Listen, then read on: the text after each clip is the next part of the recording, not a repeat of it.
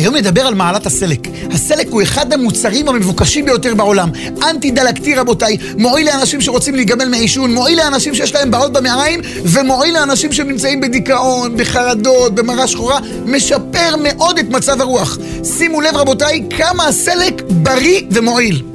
סובלים מבעיות מעיים? בואו נקרא איך זה עוזר למעיים. הסלק עשיר מאוד בסיבים תזונתיים, לכן הוא מעודד פעילות מעיים תקינה, מסייע מאוד לכל מי שסובל מעצירות או מקיבה קשה.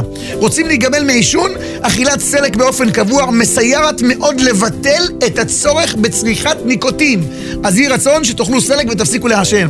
על פי חז"ל רבותיי וגם על פי המדע, הסלק מונע הצטברות של שומנים בדם. מקור מעולה לויטמין C הוא ברזל, למרות שאין בו הרבה ברזל, אבל ברזל המעט שיש בו נספג מעולה בגוף. עשיר בוויטמינים ומינרלים.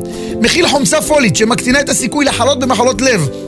אגב, חומצה פולית מועילה מאוד לנשים בהיריון להתפתחות תקינה של העובר. אישה שהיא בהיריון, להרבות באכילת סלק. עוד דבר, מכיל זרחן, מגנזיום, ברזל, ויטמין B6 ורוד, משפר מאוד את מצב הרוח, מחזק מאוד את המערכת החיסונית, מפחית כולסטרול בדם, מנקה עורקים וכלי דם. טוב לאנמיה, אנטי-דלקתי, הברזל שלו נספג מעולה בגוף. לכן רבותיי, עוד דבר, מי שסובל מלחץ דם, כתוב שמחקרים מוכיחים ששתייה של שלושת רבעי כוס מיץ סלק תועיל מאוד להיפטר מבעיות של לחץ דם. מועיל מאוד לדיאטה. למה הוא מועיל לדיאטה?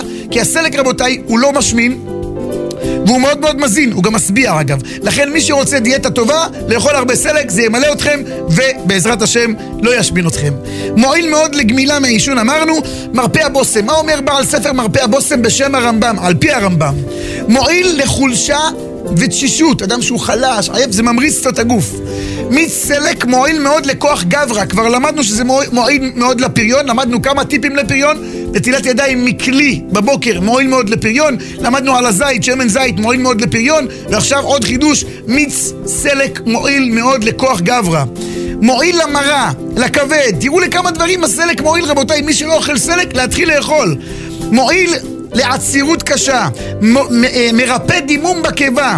העלים שלו עשירים מאוד בוויטמין A, רק מה, כשאוכלים עלים, לנקות היטב לפני השימוש. בכלל, כשאוכלים סלק, אי אפשר לחתוך אותו לרבעים ואז לבדוק. למה? כי התולעים נכנסים פנימה. מה עושים? חותכים אותו לפרוסות ואז מסתכלים. אגב, לגבי הרעלים, לוקחים את הרעלים, הם מאוד מאוד בריאים, משרים אותם בתוך מים שלוש דקות, מים עם ניקוי, לשים איזה חומר ניקוי קצת במים, ואחרי זה לוקחים זרם מים חזק, שוטפים את הרעלה משני הצדדים, ויאכלו ענבים ויסברו.